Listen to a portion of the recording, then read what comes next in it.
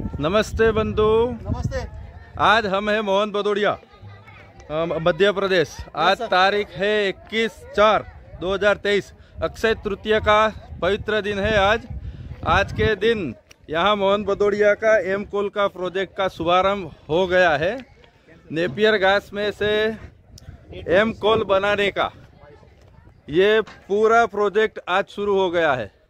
आप देख सकते हैं, पूरा ये एम कोल का शेड है।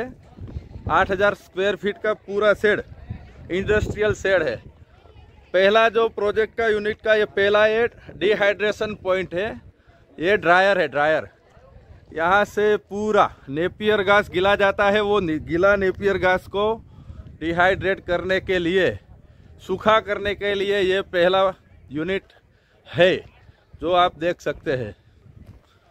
हमारे साथ परीक्षित पटेल धौम्य पटेल हेमा भाई प्रजापति सब आए हुए हैं। आप देख सकते हैं।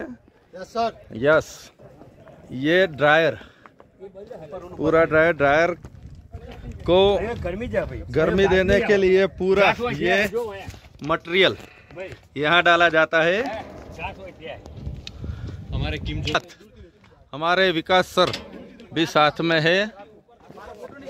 जी। विकास सर का और हमारा